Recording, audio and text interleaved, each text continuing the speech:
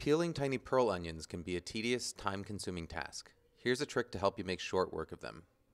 Using a chef's knife or paring knife, start by trimming off about a quarter inch from the top and bottom of each onion, setting them aside as you go.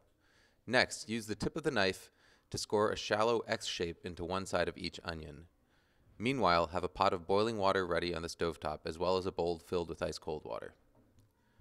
Drop the onions into the boiling water and boil for just 30 seconds. Then, using a fine mesh strainer or a slotted spoon, pick up the onions and transfer them directly to the cold water to halt their cooking. The outer layers of the onions should have softened just enough for you to be able to peel them off easily with your fingers.